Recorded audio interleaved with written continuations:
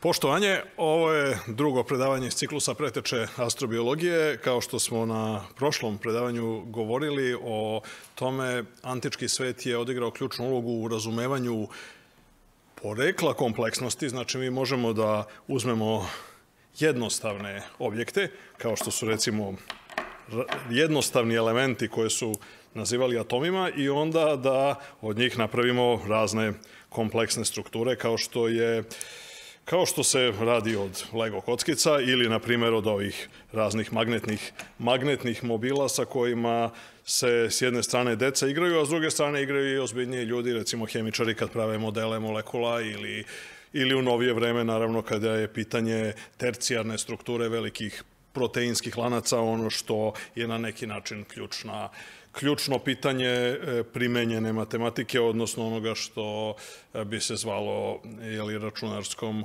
naukom computational science. Dakle, mi napravimo relativno kompleksne objekte, kao što je, na primjer, tetredarska struktura, kao što je ova koja savršeno opisuje strukturu kristala ugljenika kada je u formi dijamanta i to je sve sastavljeno od malog broja jednostavnih komponenti. Isto kao što ono što, kao što Demokrit i Epikur opisuju, ono što se nama čini kao veoma komplikovano, dakle puno raznih sekundarnih kvaliteta, ima veliku masu, ima ovakav ukus, hladno je, toplo je, slatko je, ljuto je, se u čuvenom Demokritovom fragmentu ili aforizmu svodi na to da u istinu postoje samo atomi i praznina.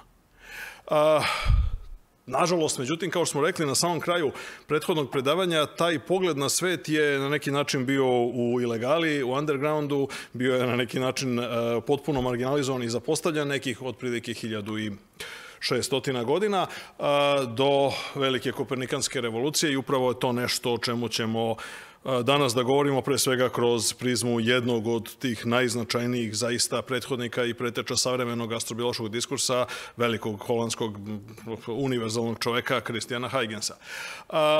Dakle, Još jednom, kao smo rekli, evo, ovo je dobar primer, ova naslovna strana Lukrecijeve poeme koja je napravljena u, u renesansi.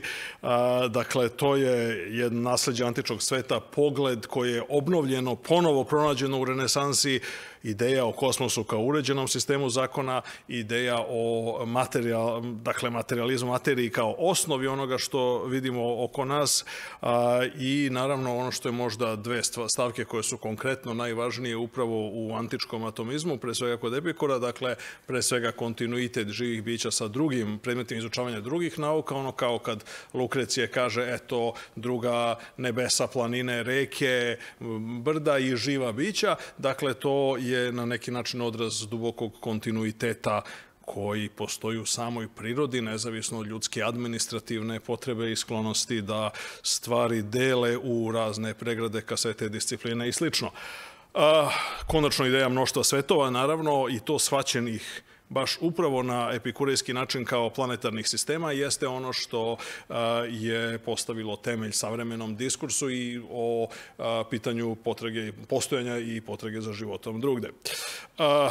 Na neki način, kao što smo govorili o onom pergamskom oltaru kao o paradigmi helenizma ili jeli, ranog helenizma, evo pogledajmo recimo ova paradigma na prelasku iz renesanse u baroka koja se recimo dobro odslikava u ovom, ovoj sjajnoj e, slici Jana Vermera, astronom koja je otprilike naslikana oko 1668. Znači tu vidimo jedan potpuno novi način prikazivanja i čoveka i naravno vidimo vidimo jednu sferu, dakle, ovaj, vidimo dakle, čitav niz potpuno novih stvari e, koje jednostavno nisu postale tokom prethodnih 1600 godina dominacije aristotelovske i scholastičarske misli a, i na neki način ljudi su se u toku renesanse i kopernikanske revolucije oslobodili i počeli da sagledavaju stvari na potpuno drugi način.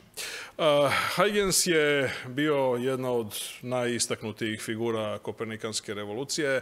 Dakle, Ovde vidite jedan od mnogobrojnih portreta, za razliku od recimo Epikura gde smo rekli da čak i ona bista koja se obično uvek pripisuje njemu, vrlo je sumnjivo da li je u pitanju, da li, da li ima išta zaista autentično u njoj. Mi ne znamo zaista kako Epikur i kako su drugi antički mislioci izgledali.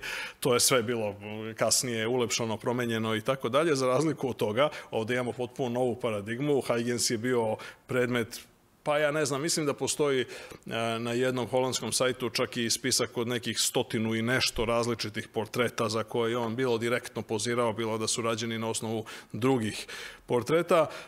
Dakle, on je rođen u Hagu 1629. godine e, u jednoj od najuglednijih holandskih porodica.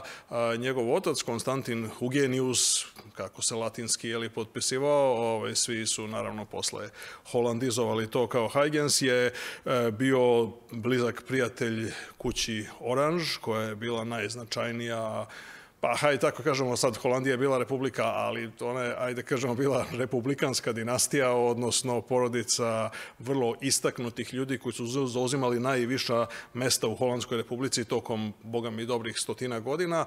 Uh, Dakle, u tom svojstvu e, njegov Haygensov otac Konstantin je putovao širom sveta i ne samo što je putovao, nego je i ugostio brojne ljude koji su u to doba dolazili u Holandiju, ta između ostalog Galileja i Dekarta, što je bilo od ogromnog značaja jeli, za e, njegovog sina koji je, dakle, još kao dete upoznao te, znači, dvojicu među apsolutno najvećim misliocima tadašnjeg sveta i ljudima koji su bili direktno uključeni u celu kontroverzu u vezi sa, e, dakle, u vezi sa a, tim dramatičnim preokretom koji danas zovemo Kopernikanskom revolucijom.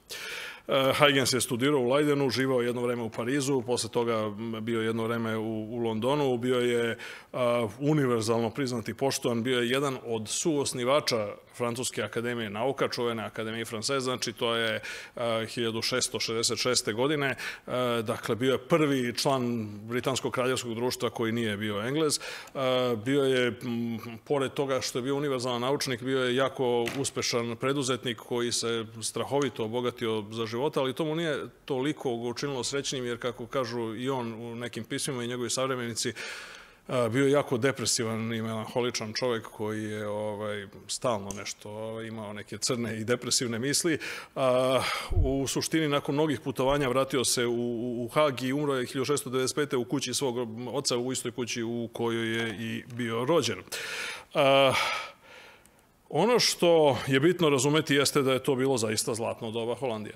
Dakle, Holandija, ono što nazivaju Gudenev, dakle, između grubo govoreći oslobođenja od španske kolonijalne dominacije 1588. pa do 1672. upravo do tog, do izbijanja velikog rata sa Francuskom. Jedna od uzrednih stvari, dakle, koju sam pomenuo sam da je, da je Huygens bio jedan od suosnivača Francuske akademije. E, to je jako interesantno, obzirom na činjenicu da je u Francuskoj bilo postojilo izrazito anti-holandsko raspoloženje i generalno govoreći to je bio fascinantan dokaz koliko je on bio iznad, što bi se reklo, svog vremena, zato što e, u Francuskoj je posebno, dakle, vladavina Luja 14. je, je bila, dakle, pored tog kulturnog procvata, bila je označena i kao izrazito ajde da kažemo ovako, izrazito monarhistička i antirepublikanska. Ishodno tome, e, dakle, uspešna republika na granicama Francuske je izazivala veliki neprijatnost kod kralja Luja i onda je kralj Luj nakon dužeg premišljanja ovaj, rešio da to reši ovaj, dramatičnim nasilnim sredstvima, tako da upravo rat sa Francuskom e, koji je, do kojeg je došlo 1672. je označio početak opadanja Holandije, zato što između ostalih stvari tokom tog rata je došlo do velikih materijalnih razaranja, kojom prilikom je dobar deo Holandije prethodno otete i od mora bio ponovo potopljen, i shodno tome to je bio jedan veliki setback od koga se Holandija, moglo bi se reći, nikad nije oporavila kao velika sila, odnosno tek u savremeno doba, jeli, kada je i danas velika kulturna akademska naučna, naučna sila. A, mnogi ljudi su se rodili i radili u, u Holandiji, počeo od ljudi od klase, klasičara kao što je Grocius do preko kartogra, velikih kartografa kao što su Mercator i Ortelius koji su napravili pravu revoluciju u kartografiji, onda veliki filozof Spinoza, da ne pominjemo sve ove poznate flamanske slikare poput Vermeera, Rembrandta i drugih. I ono što je bilo interesantno jeste da Holandija je privlačila jako mnogo ljudi koji iz razno raznih razloga su imali problema ili ličnih problema, e, dakle, ili nisu mogli da objavljuju, recimo kao što je John Locke, koji je svoje knjige objavljivao zato što su, jeli, iz razno raznih političkih razloga bio nepodoban u e, puritanskoj engleskoj tog doba, ovaj, onda je on to objavljivao u Holandiji. Descartes takođe, koji se na putovanjima za Švedsku i drugde zadržavao vrlo često u Holandiji, između ostalog i u poseti dakle, Huygensovom ocu, Komenius iz Češke i mnogi drugi. Dakle, ovde vidite recimo jednu zgradu koja je podignuta i u kojoj se danas nalazi holandska, holandsko naučno društvo, odnosno praktično Holandska akademija nauka, a koja je originalno podigla, to je takozvani Trip Hoys, koji je originalno podigla porodica Trip kao neku vrstu carinarnice, carinske kuće, zato što najveći deo procvata Holandije je bio zasnovan upravo na pomorskoj trgovini i ekstremno sposobnom, znači, pomorstvu, dakle, pre svega koje je bilo preteča svega onoga, sve ono što je kasnije, kada je e, otpočelo nakon ovih ratova sa francuskom opadanje Holandije, praktično preuzeto u Velikoj Britaniji i učinilo je temelj britanske pomorske dominacije. Uh, teško je nabrojati stvari kojima se Huygens bavio i to je ekstremno uspešno. Dakle, verovatno najvažnija pojedinačna stvar je talasna teorija svetlosti koja je odigrala ogromnu ulogu i predstavljala začetak ne samo klasične talasne optike, nego i svega posle. Na kraju krajeva mi te stvari makar kao metafore koristimo i u znači, kvantnoj mehanici kao talasnu mehaniku i slično. Znači, sam taj koncept prostiranja talasa je bio znači, Huygensovih uh, ruku, odnosno uh, uma deo delo. Dakle, on je čovjek koji je prvi otkrio i razumeo prirodu centrifugalne sile, prvi je utvrdio kako zavisi centrifugalna sila od udaljenosti od centra rotacije, razvio je nove klase teleskopa, razvio je, izumeo je časovnik sa klatnom, to mu je donelo veliko bogatstvo, zato što njegovo patentiranje časovnika sa klatnom prvo, a potom i ovog džepnog časovnika takođe, mu je donelo velike pare. Prvi, svi prvi časovnici u Evropi i svetu su bili rađeni po Huygensovim direktnim uputstvima u astronomiji uradio zilion stvari. Dakle, prvi je posmatrao tranzit Merkura preko sunčevog diska. Prvi je shvatio da su Saturno i prsteno i nisu deo planete. Saturno je prstene formalno i otkrio Galilej 1610. ali je bio potpuno šokiran. On nije mogao, naravno, svojim malim teleskopom da razdvoji, nego on bio, bio ubeđen da Saturn kao planeta menja oblik i to ga je potpuno šokiralo i onda je to napisao u šifram. To, to otkriće nije objavio u onom uobičajenom smislu te reči, nego je napisao nekakav šifrovani, nekakav kriptonim koji je, e, dakle, u kome je opisao bizarno, strašno, začuđujuće, uznemirujuće ponašanje Saturna, pošto mi znamo da ne samo što Saturn ima prstena, nego kako se menja ugao pod kojim vidimo Saturna prstena, onda se zaista menja i projekcija Saturna izgleda jako čudno kad, smo, kad, mi, kad se mi nalazimo skoro u ravni prstena, onda oni nestaju i budu potpuno nevidljivi, a onda, naravno, kad se nalazimo, onda se naravno menjaju, imaju, poprimaju različite oblike kako se menja ugao pod kojim, pod kojim ga vidimo. A, Huygens je prvi koji je imao malo ozbiljniji teleskop i onda je on shvatio da, da oni nisu deo planete, nego da su nekakva struktura ili strukture ili šta god već koja se okreće oko planete i shvatio je da postoji ovaj njegov crtež originalni, shvatio je da postoji rupa pukotina između same planete i ivice unutrašnjeg prstena, što je naravno bila velika stvar. Dakle, baš u Saturnovom sistemu radi još neke stvari. E, ono što je možda još bizarnije jeste kad vidite današnje ove velike teleskope, kao što je ovaj John Webb Space teleskop, odnosno svemirski teleskop nove generacije koji treba da bude lansiran ovih godina. Mislim, već kasni prilično, ali treba davno da bude lansiran, ali, eh, ali je, evo, sad je prilično, na, prilično, što bi se reklo, priveden kraju.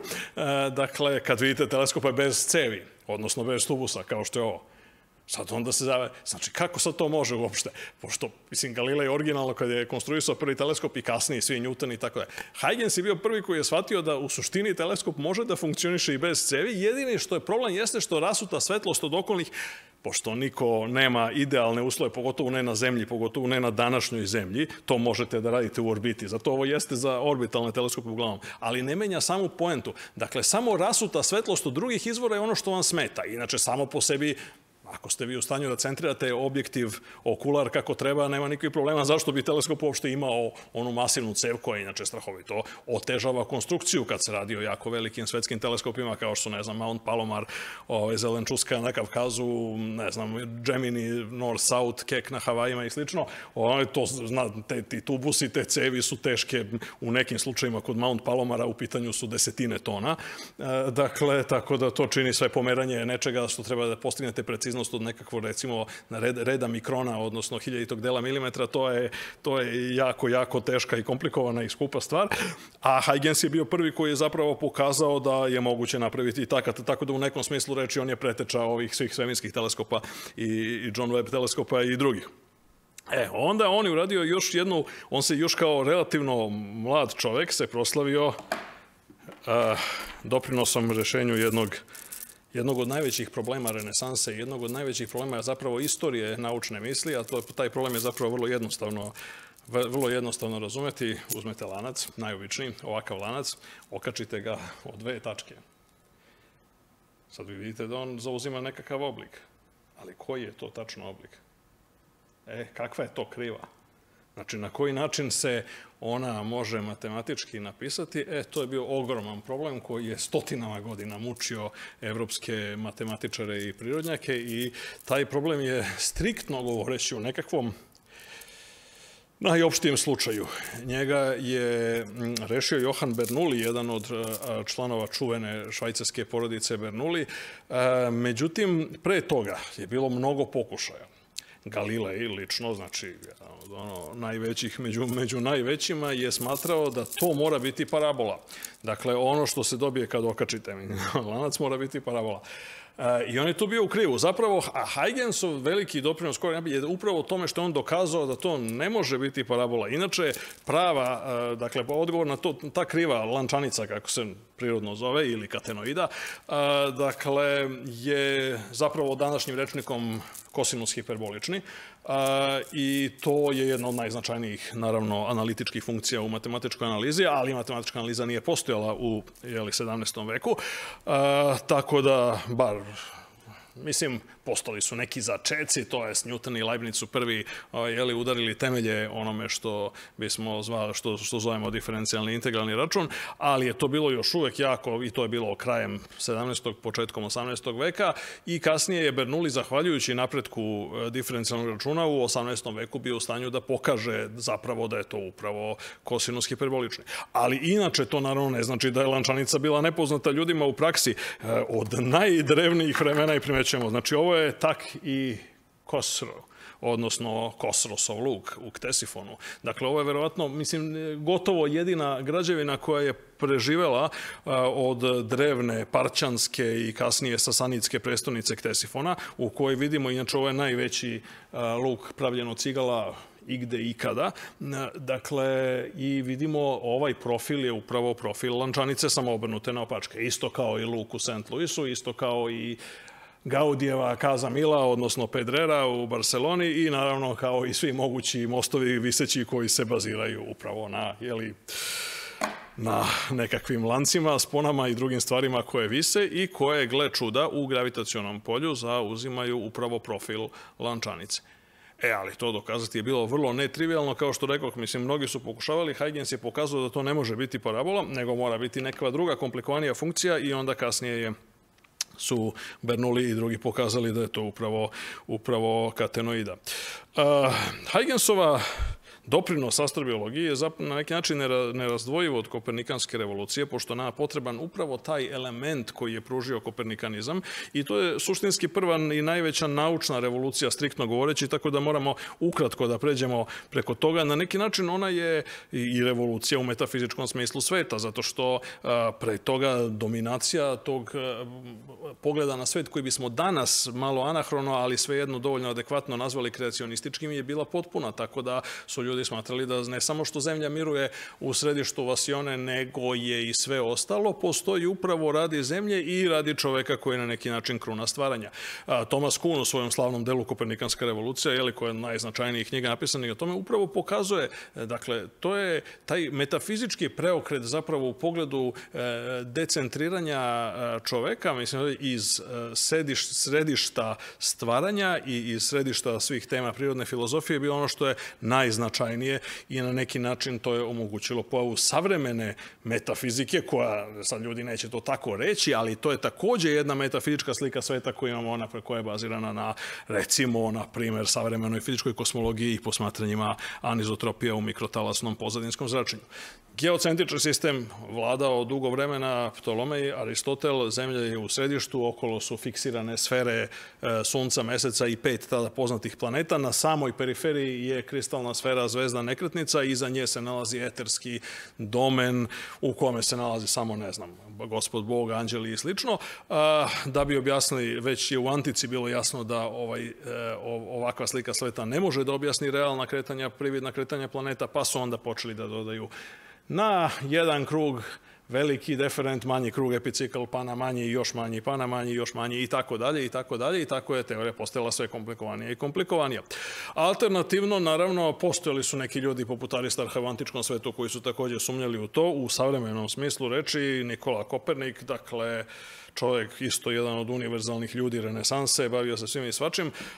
Dakle, međutim, najznačajnija stvar jeste da je negde oko 1514. Nakon što je pre toga u Padovi e, bio upoznat sa, rezultatima arapskih i perskih e, naučnika, astronoma, posebno Ulugbega, koji je bio u stanju da prvi izmeri sa ogromnom preciznošću trajanje e, zvezdane, siderealne i solarne godine. I to je bilo jako bitno zato što u nekom smislu te reči je to omogućavalo da se izvedu vrlo konkretne E, vrlo konkretne primetbe na, na to, mislim, zbog čega se nama čini da se zvezdana godina ne poklapa u potpunosti sa solarnom. Razlog, naravno, kako mi danas znamo, jeste zemljino kretanje oko sunca, ali...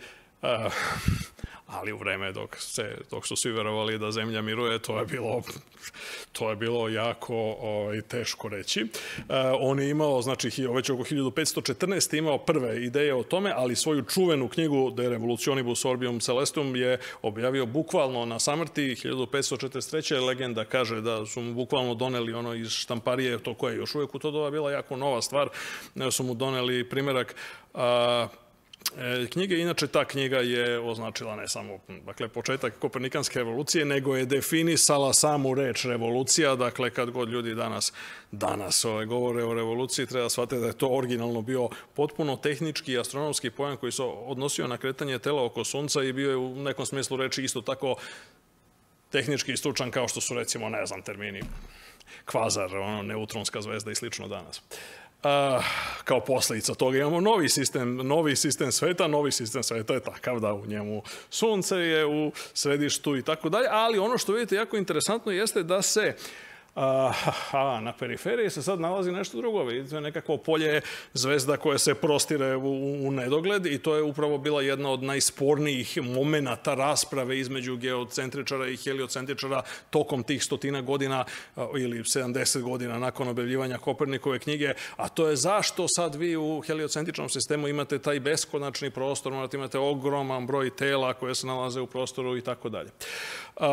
Srećom pa se desilo nekoliko stvari koje su bile čisto kontingentne. 1572. 6. novembra eksplodirala je supernova, odnosno do zemlje je stigla svetlo supernove u Saveđu Kasiopeje, koje su posmatrali mnogi širom Evrope, uključujući i jednog mladog e, i do tada dosta zaludnog danskog plemića po imenu Tihode Brahe, koji je bio toliko fasciniran i šokiran da je napisao knjigu. Knjiga je izazvala ogromnu pažnju širom sveta i izazvala je to da e, ga kralj pozove na dvori i da mu da u bukvalnom smislu reči vreću sa zlatom ovaj, da bi napravio na ostrvu Hven observatoriju, dakle koja je bila centar astronomskih posmatranja koja su na neki način dovela do potvrde e, ovo je neka, nekada je to tako izgledalo, kažu ljudi, danas nažalost zbog zemljotresa i, i drugih stvari nije to tako preživelo, ali postoje rekonstrukcije. Dakle, Tiho de Brahe je tokom ključnih 25 godina dakle, posmatrao razne stvari, između ostalog, pored supernove koja je sama po sebi ugrozila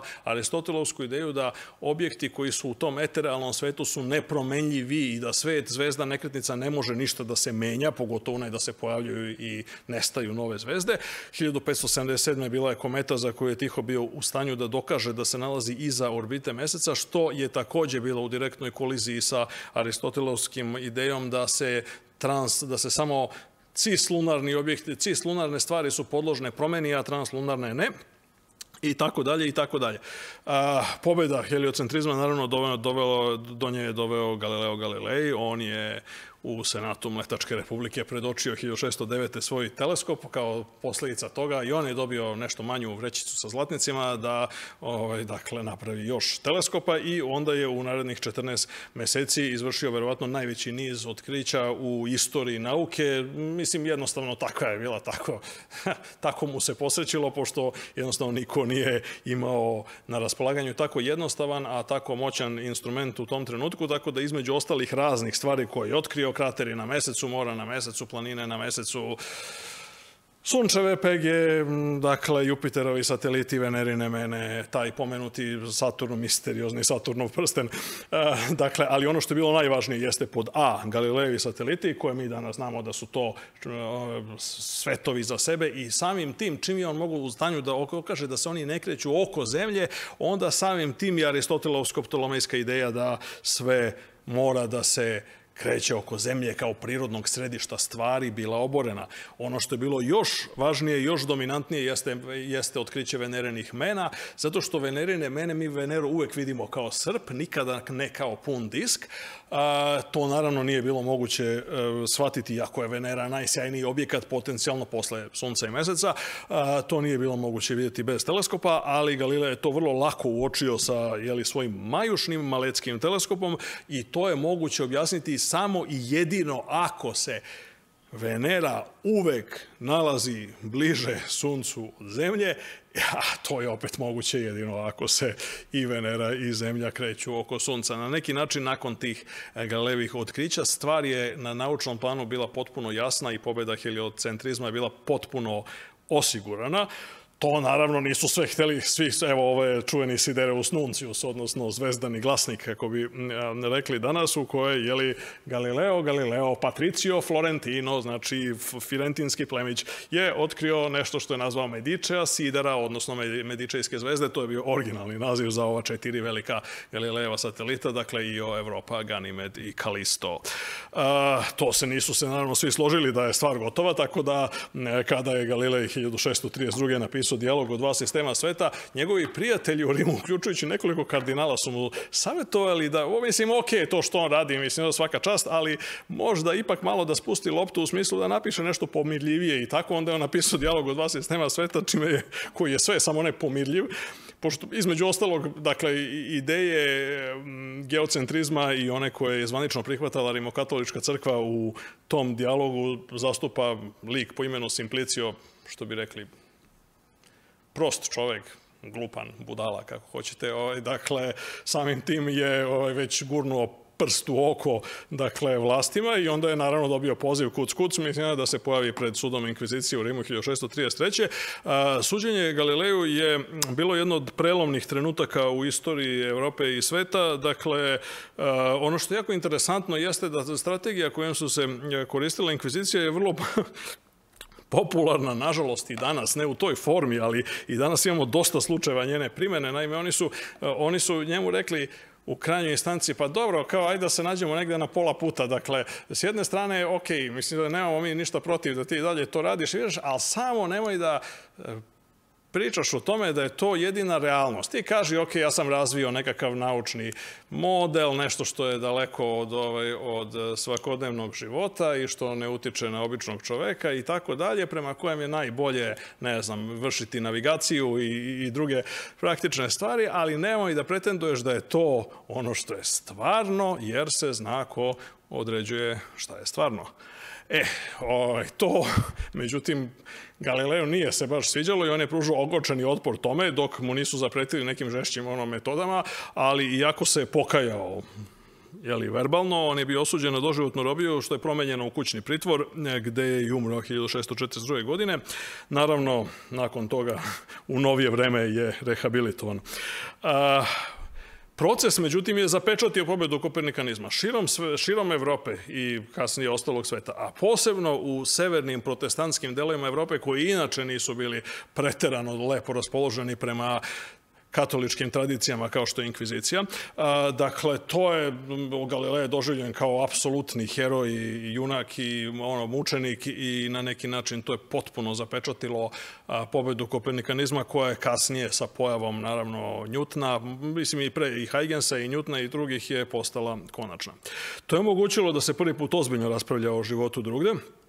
Huygens je uradio dve stvari koje su ključne za astrobiologiju. Jedno na početku karijere, to je otkriće Titana, drugo na samom kraju, to je njegov posthumno objavljeni spis pod nazivom Kosmoteoros. Kada je on pogledao 1655. svojim teleskopom, dakle kao vrlo mlad čovjek u to doba imao 26 godina, u Saturnu on je vidio otprilike ovo. Dakle, ovo je otprilike rekonstrukcija kako je mogao, e, kako je, e, šta je Huygens mogao da vidi. Mogao je da vidi da je prsten odvojen od same, od same planete Jupiter, e, dakle i to je jedna stvar. Druga stvar, video je nekakav čudan objekat koji se tu umuva kad ga pogledamo danas ovaj, ozbiljnije, vidimo da je to možda i najzanimljiviji i najfascinantniji objekat u sunčanom sistemu, dakle ogroman džinovski satelit koji je malte ne svet za sebe, dakle skoro veliki kao Mars. Evo ovde imate uporedno Mars Zemlja, Titan, Merkur, naš mesec i Pluton koji je do skora bio planeta. Dakle, vidite da je Titan veći od recimo Merkura i vidite još nešto, da je, što je gotovo očigledno i ovde, a i ovde je mnogo, mnogo lepo vidljivo od žruba, a to je Titan ima gustu atmosferu. Titan je potpuno neprozračan, kao što možete vidite, pokriven naranđastim oblacima sve vreme. Atmosfera je kao i atmosfera Zemlje najvećim delom sastavljena od azota.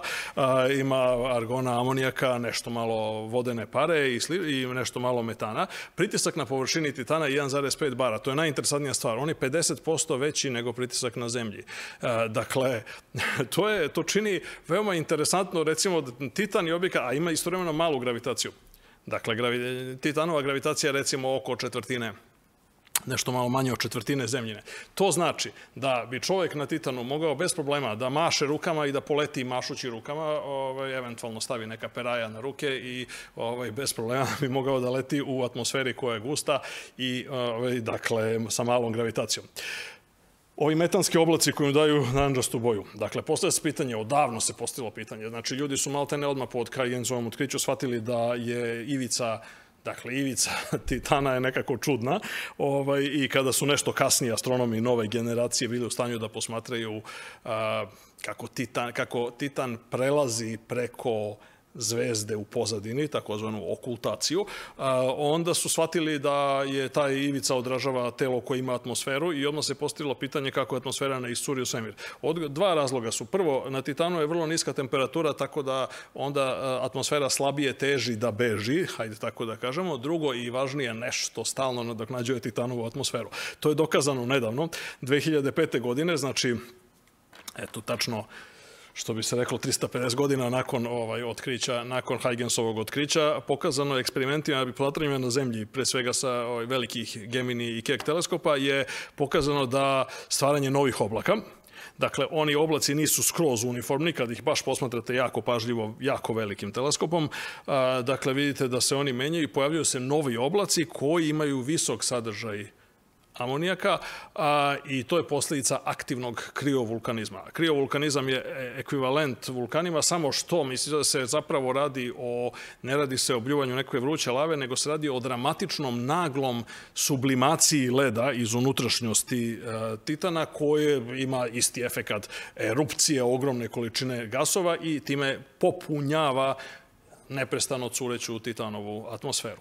2005. godine iste te sonda Cassini-Huygens, sonda Cassini sa ovim dodatkom koji je nazvan Huygens, jeli u čast otkrivača, se je ušla u sistem e, Saturna i Huygens, sonda Huygens se odvojila i spustila na površinu Titana gde je funkcionisala nekoliko stotina sekundi. E, Ova je inače mapa dobijena sa, orbi, sa orbitera Cassini koja prikazuje, nažalost, nepotpuna pošto on nikada nije mnogo prilazio ovim polarnim krajevima, ali vidimo razne neke ima čuvena Visora Van Xanadu, ima ove, ove stvari koje su u suštini oblaci, e, pardon, koje su e, ne oblaci nego morske, odnosno jezerske površine.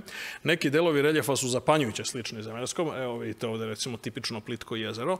Plitko jezero je jezero tečnog metana, zato što je temperatura temperatura na Titanu stabilizovana u blizini trojne tačke metana na isti način na koji je temperatura na zemlji stabilizovana u blizini trojne tačke vode, tako da tamo postoji metan u sve tri faze. Znači imamo metanski led, imamo tečni metan u obliku jezera i mora i reka na površini i imamo i kiše koja pada iz atmosfere i imamo naravno gasoviti metan u atmosferi.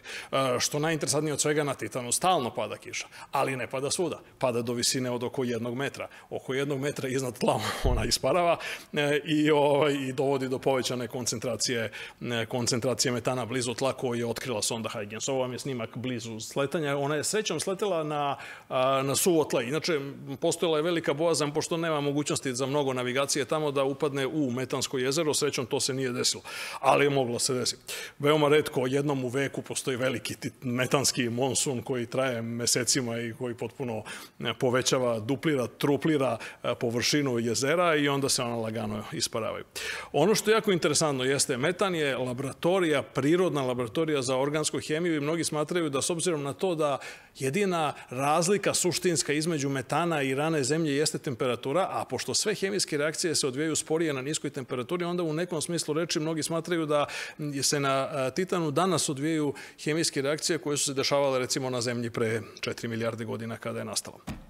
Druga stvar, naravno, i najznačajnija koju je Huygens uradio, jeste njegov Kosmoteoros. Kosmoteoros je njegov, hajde kažemo, nekakav testamentarni spis koji on ostavio svom bratu da ga objavi posle njegove smrti, dakle, što se zaista i, nažalost, desilo to on je do nekla, sad razne su razlozi za to. Mislim, s jedne strane on jeste zaista suviše radikalan da bi se objavio za života, sa, sa druge strane nije baš potpuno out of place, zato što on diskutuje, on pregleda prethodne ideje koje su imali nekakvi ljudi veoma rani, kao što su Nikola Kuzanski, kao što je Giordano Bruno i drugi, i neki savremenici kao što je Fontenelle, koji je možda prvi sugerisu u nekom savremenom smislu da su druge planete mogu možda nastanjene.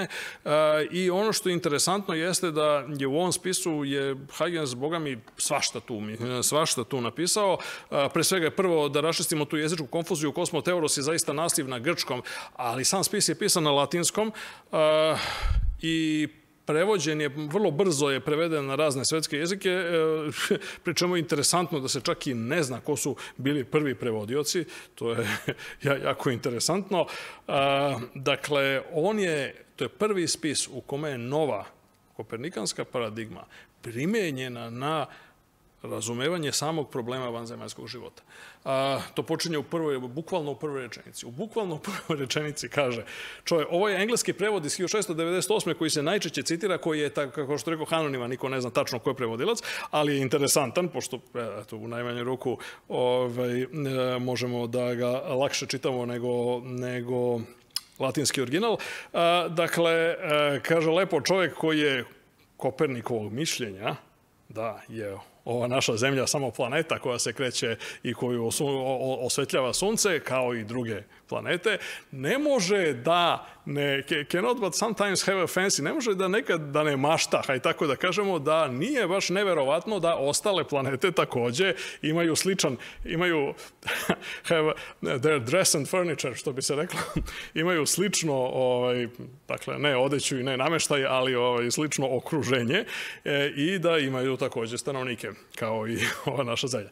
Na taj način, znači, on je uradio ključan korak od svih. Znači, ovo Danas može da zvuči smešno i naivno, ali hm, ljudi u 17. veku, dakle, to je bilo radikalna i dramatična ideja, a, dakle, posebno tako brzo nakon tog kopernikanskog preokreta.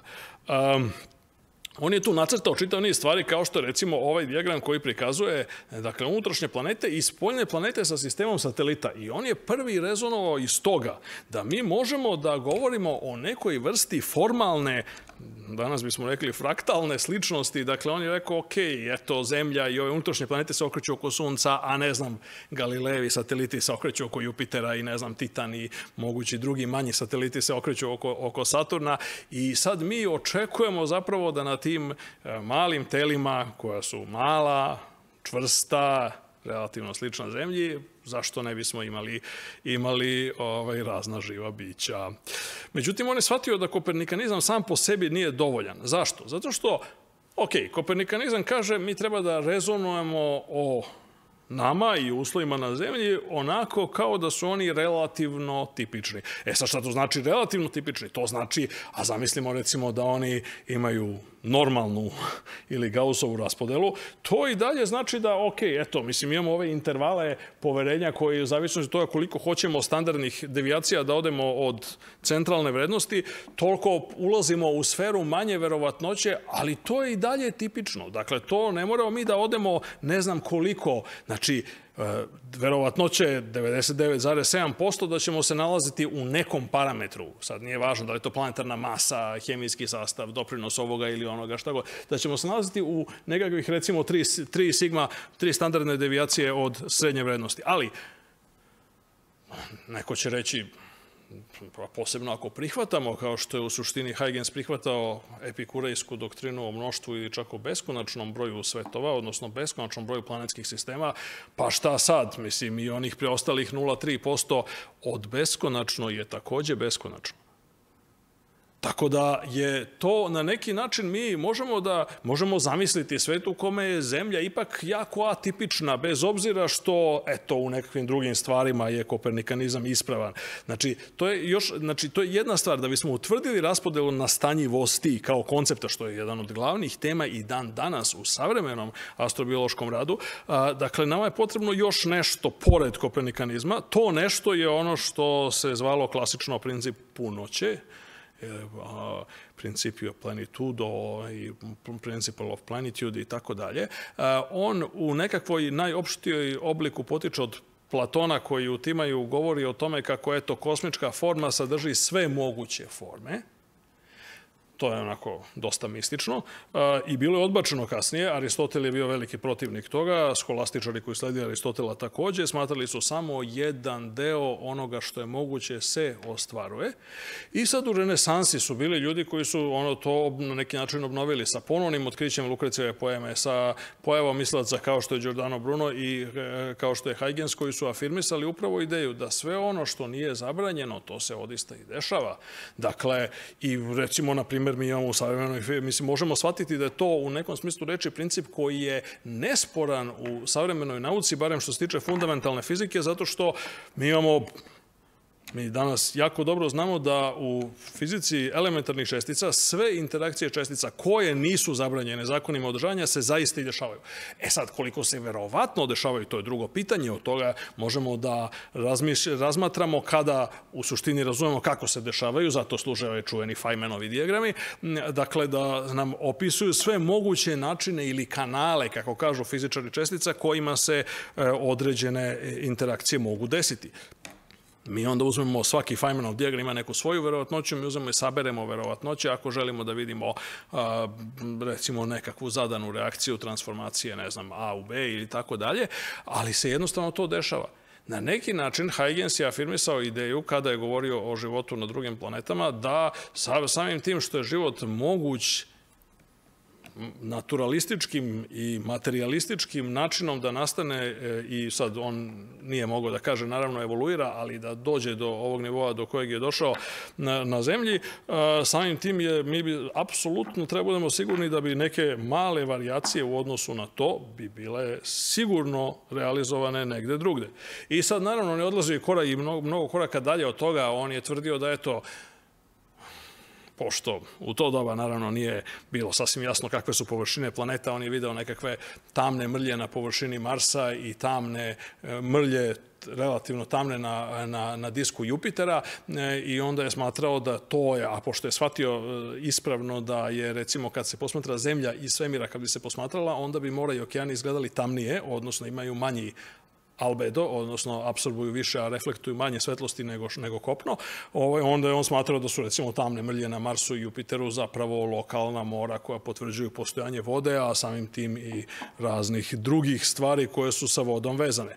A, ono što je jako interesantno jeste da je e, Huygens je bio i prvi koji je zagovarao nešto se danas često u raspravama, pogotovo oko seti projekata, naziva argumentom jedne nauke, a to je ideja da a, mi treba da prihvatimo ideju da bez obzira koliko različit može biti nekakav nekakav kulturni trajektorija, on, na kraju ćemo doći do istih zakona prirode bez obzira odakle pošli, da li na Zemlji, Marsu, nekoj sasvim desetoj planeti, sistemu, sistemu Zeti, Zeta retikuli ili tako nekom drugom a, ekstrasolarnom planetskom sistemu. Dakle, e, on baš ovde lepo kaže, mi dozvoljamo, mi možemo dozvoliti da on je čak prvi koji je potencijalne vanzemaljce nazivao gospodom. Dakle, kao što lepo kaže, možemo dozvoliti da su moral i strasti te, te gospode, ovaj gentleman, različite od naših. Ali sa druge strane, u potrazi za istinom, u, u onome što bismo ocenili kao posledice stvari, u rasuđivanju, on, njihov razum treba da bude isti kao naš.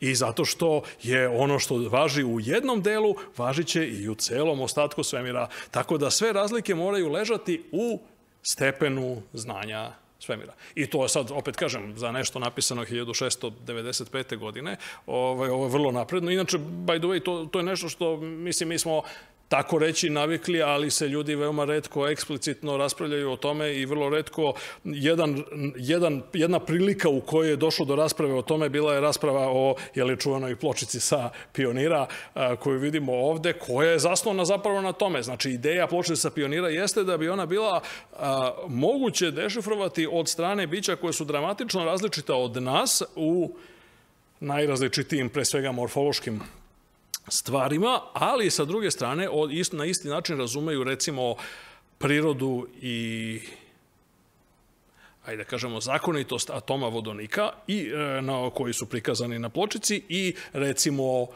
prirodu neutronskih zvezda, odnosno pulsara u galaksiji, na osnovu kojih se može datirati kada je pločica napravljena, pošto svi pulsari imaju taj uh, imaju taj časovnik ugrađen, odnosno oni usporavaju lagano, tempo njihovog usporavanja je vrlo lako rekonstruisati, onda možete da vidite, to je nekakav univerzalni, hajde da kažemo tako, hronometrijski sistem.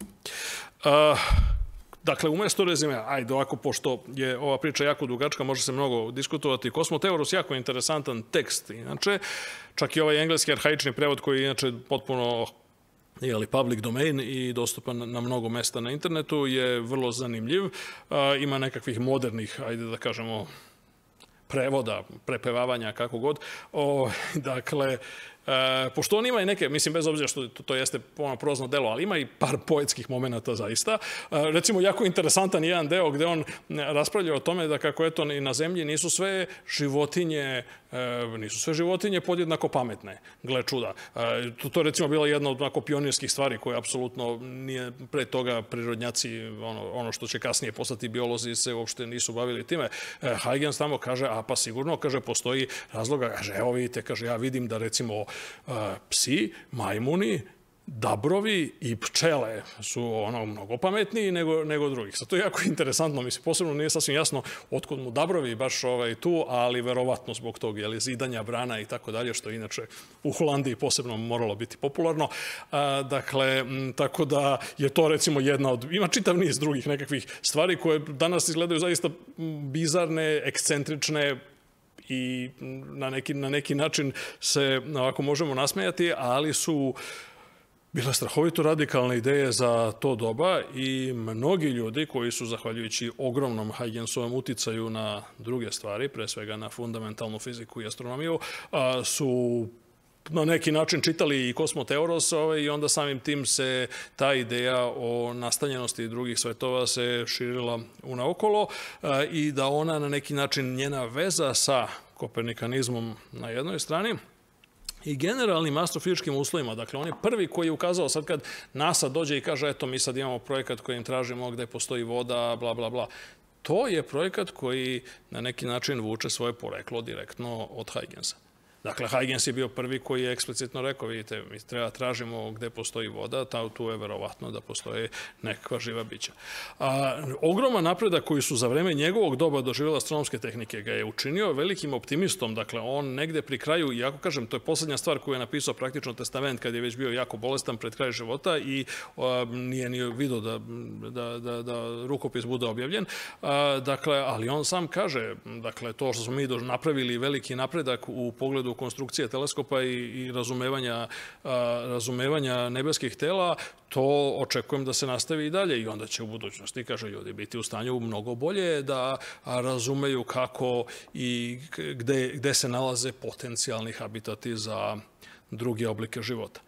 A, ono što treba imati na umu, naravno, i onaj, on, oni delovi u kojima a, Huygensov diskurs deluje najnaivnije, jesu upravo oni koji se odnose na, inherentne, na inherentnu prirodu života, zato što je on sa tim kao ostalom i mnogi kasniji ljudi, kao i ostalom i mnogi danas imao najveći problem.